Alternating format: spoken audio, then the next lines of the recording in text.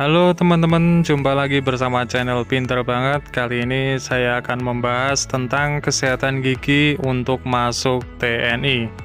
Untuk menjadi calon prajurit TNI itu dipilih yang terbaik dari yang terbaik, yang sehat jasmani ataupun rohaninya, termasuk dalam hal ini kesehatan gigi dan mulut karena diharapkan apabila memiliki gigi yang sehat nantinya bisa melaksanakan tugas sebagai TNI dengan baik dan maksimal, tidak sakit dan sebagainya.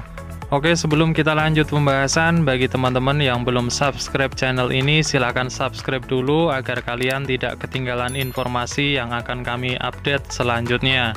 Oke langsung saja kita bahas untuk syarat masuk menjadi calon anggota TNI itu baik itu perwira, akmil, bintara, ataupun tamtama tentunya ada tes kesehatan gigi dan mulut. Yang pertama, gigi harus rapi. Bagaimana jika gigi kalian tidak rapi? Bagaimana jika ada gingsul dan lain-lain? Apakah bisa lolos? Jawabannya masih bisa lolos, asalkan masih memenuhi stakes atau status kesehatan yang telah ditentukan tim penilaian kesehatan dari TNI. Penilaian gigi tidak rapi meliputi gigi atas bawah, gigi bagian depan, dan juga belakang. Semua dicek kerapiannya antara rahang bawah dan atas. Gigi terlihat renggang juga akan mengurangi penilaian. Dan bagaimana jika gigi kalian tidak rapi? Solusinya adalah kalian bisa melakukan perawatan gigi dengan cara dibehel. Kalian bisa mengunjungi dokter gigi untuk melakukan perawatan gigi.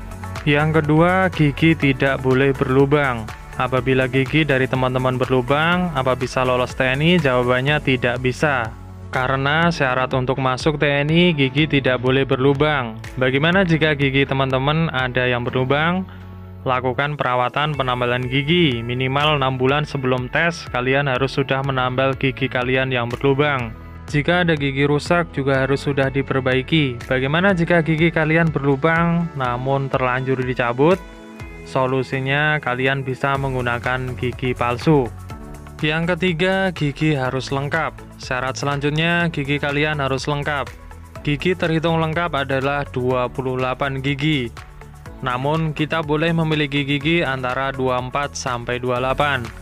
Jadi misal kalian ompong 1, 2, atau 3, atau 4 masih boleh, masih ada toleransi. Namun kalian harus mengganti gigi yang ompong dengan gigi palsu. Dan jangan pakai gigi palsu yang lepas pasang. Kalian harus menggunakan gigi palsu permanen. Kehilangan gigi geraham maksimal 4. Kehilangan 3 gigi berurutan akan mendapatkan penilaian stakes 4. Memiliki lebih dari satu gigi sisa akar mendapatkan penilaian stakes 4. Jadi kalau teman-teman punya sisa akar gigi lebih baik dicabut dan diganti gigi palsu. Yang keempat, tidak boleh ompong depan. Syarat mutlak kalian tidak boleh ompong depan. Apa yang dimaksud dengan ompong depan? Ompong depan itu adalah hilangnya gigi di barisan depan dan dari gigi taring ke gigi taring. Bagaimana jika saya terlanjur ompong depan? Tentunya itu akan jadi penyebab gugurnya seleksi tes kesehatan gigi kalian. Bagaimana jika ompong depan sudah diganti, Pak? Apa bisa? Jawabannya tidak bisa. Lalu ada pertanyaan lagi, teman saya ada yang lolos TNI, Pak. Dia ompong depan. Jawabannya, wallahu alam. Mungkin ada faktor lain yang menjadi pertimbangan sehingga chassis tersebut diloloskan. Namun, pada dasarnya ompong depan tidak diperbolehkan atau tidak lolos dalam standar kesehatan gigi masuk TNI. Yang kelima, gigi harus bersih.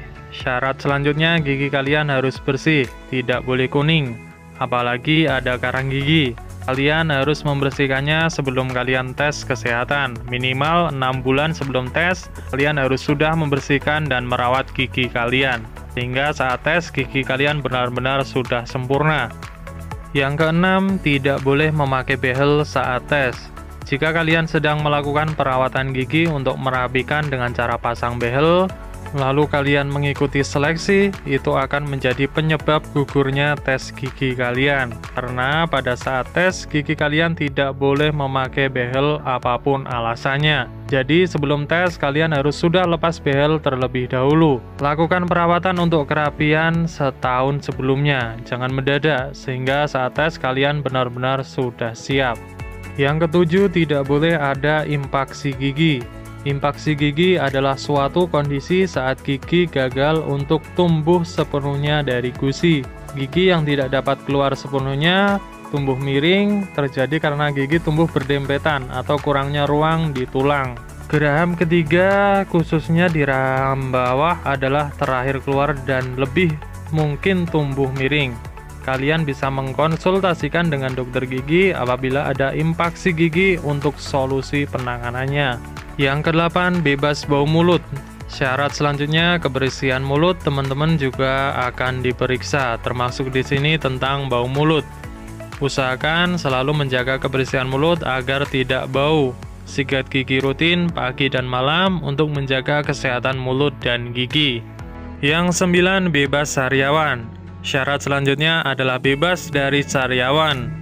Apabila ada gejala sariawan sebelum tes, segera lakukan pengobatan agar segera sembuh. Karena sariawan juga bisa mengurangi penilaian. Minum vitamin agar kalian selalu fit kondisi badannya saat menghadapi tes. Nah, bagaimana untuk mengetahui gigi kalian rapi atau tidak, bersih atau tidak, perlu dibenahi atau tidak?